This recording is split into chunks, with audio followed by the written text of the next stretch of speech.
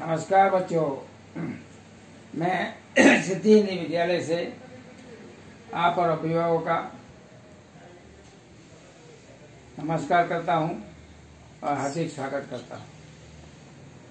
आप तो जानते हैं अभी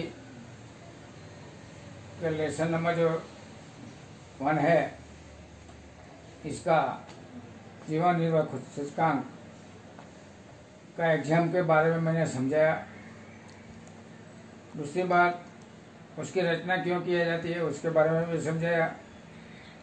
और लास्ट प्रश्न उसका है, जीवन निर्वाह सूचकांक जो मनाया जाता है, रचना की जाती है, इसका उपयोग और मर्यादा क्या है? इसके बारे में मैं आपको समझाने जा रहा हूँ। यानी एग्ज़ाम्पल और परिभाषा साथ साथ में मैं ले रहा हूँ, इसलिए छोड़ना नहीं। परिभाषा खास याद रखना। ये जीवन निर्वाह में से एक दो प्रश्न आता ही आता है आता ही है।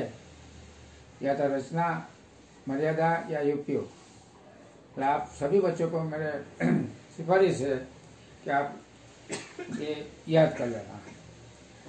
तो पहला जो पॉइंट है जीवन निर्वाह खर्च के सूचकांक के उपयोग क्या है? तो जितने भी वर्गों के लोग है।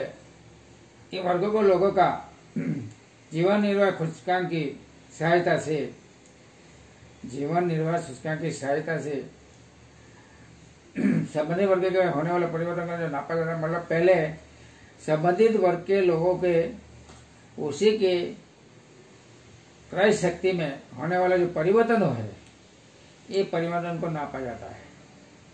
दो शक्ति है, एक तो मुद्रा क्रय शक्ति वन बटा जीवन निर्वाह सूचकांक गुणा सौ। दूसरा वास्तविक वेतन। वेतन बता जीवन निर्वाह सूचकांक गुणा सौ। इस तरह से संबंधित होने वाले परिवर्तन का नापा जाता है तो मुद्रा की कह शक्ति नापा जाता है, और वास्तविक वेतन मापा जाता है।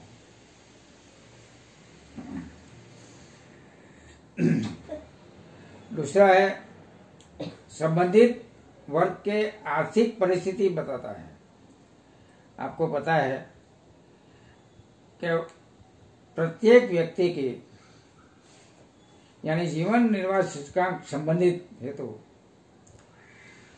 संबंधित वर्ग के लोगों के वास्तविक आर्थिक परिस्थिति जानकारी प्राप्त होती है। जैसे कि जिस वर्ग के लोगों के चुकाने वाले वेतन, महँगाई भत्ता बोनस वगैरह वगैरह में जो परिवर्तन होता है, ये सूचकांक की सहायता से अच्छी तरह जानकारी प्राप्त होती है। आपको एक एग्ज़ाम्पल देता हूँ। गवर्नमेंट सर्विस करने वाले जितने भी लोगों हैं, उसके लिए हर साल बोनस या पेमेंट की जो बढ़ोतरी होती है, इसकी जानकारी जीवन निर्वाह सूचकांक के उपयोग से प्राप्त की जाती है। तीसरा पॉइंट है सूचकांक वस्तुओं के फुटकर मूल्यों का, लोगों के जीवन पर क्या होने वाले प्रभाव है? ये प्रभाव का मापन करता है। मतलब में, प्रत्येक लोगों के सामान्य जो खर्च होता है ये सामान्य खर्च किस तरह का है, कैसा है, कि, कितना है, इसकी सभी जानकारी और इसमें जो परिवर्तन होते हैं, इसका प्रभाव क्या होता है, इसका मापन ये सूचकांक की मदद से करता है। सरकार की जो कर नीति है जीएसटी का दर, ऐसे जितने भी कर है, ये ऐसे नहीं लगाया जाता है। लेकिन उनके पीछे, आगे पीछे क्या है, क्या मुनाफा है, क्या नहीं है कितनी आमदनी होगी, ये सब सोच के बारे में, बाद में इसका उपयोग किया जाता है। तो सूचकांक सरकार जो कर नीति है, उसमें भी उपयोगी होता है। तो आज मैंने जीवन निर्वाह सूचकांक का उपयोग जो है, ये चार पाँच जो है, विस्तार से आपको समझाया है। लेकिन रचना भी की जाती है उपयोग में भी किया जाता है, लेकिन इसमें कुछ मर्यादा होती है। ये मर्यादा भी समाज के विभिन्न वर्गों के लिए सर्वसामान्य जीवन निर्वाह सूचना की रचना की जा, नहीं जाती है। क्यों? कि समाज में भिन्न भिन्न वर्ग के लोगों होता है। मध्यम वर्ग के होते हैं, धनिक होते हैं, बहुत गरीब होते हैं तो तीन चार कक्षा के वर्ग के लोगों होते हैं। तो एक सर्वसामान्य जीवन निर्वाह सूचकांक का उपयोग किया नहीं जाता है। दूसरा है, व्यक्तिगत जीवन निर्वाह खर्च का परिवर्तन नापा नहीं जाता है। अभी आप समझते हैं कि समाज में भिन्न भिन्न वर्ग के लोगों का, लोगों रहते हैं।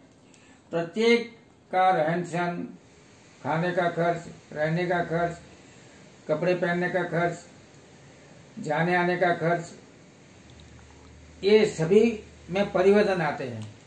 प्रत्येक व्यक्ति का भिन्न भिन्न टाइप का होता है। श्रेष्ठ व्यक्ति हो अच्छा व्यक्ति हो, उसका खर्चा ज़्यादा होता है। गरीब हो, उसका खर्चा कम होता है।